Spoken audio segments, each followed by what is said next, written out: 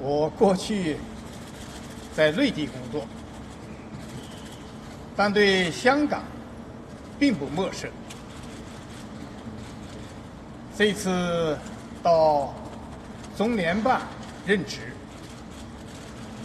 就个人而言啊，是个新的使命、新的挑战。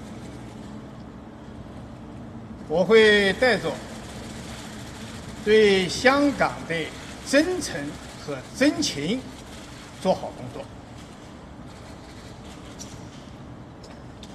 香港是东方明珠、国际化大都市，香港同胞为国家的改革开放和现代化建设做出了重要贡献。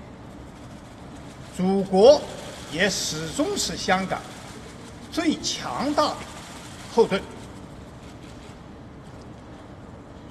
近半年来啊，香港的形势让人揪心，大家都热切的期盼香港能重回正轨。正像习近平主席在新年贺词中说的：“没有和谐稳定的环境，怎会有安居乐业的家园？”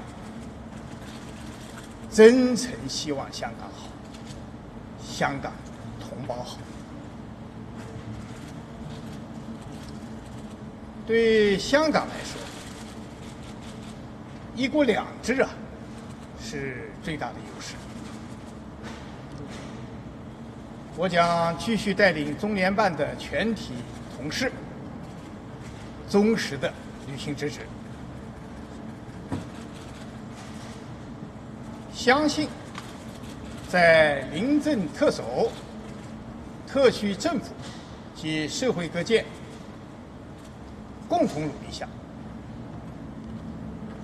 一定能确保宪法、基本法在香港得到全面贯彻实施，一定能确保一国两制行稳致远，一定能确保香港长期繁荣稳定。对此，我充满信心。更多精彩尽在中国新闻网客户端。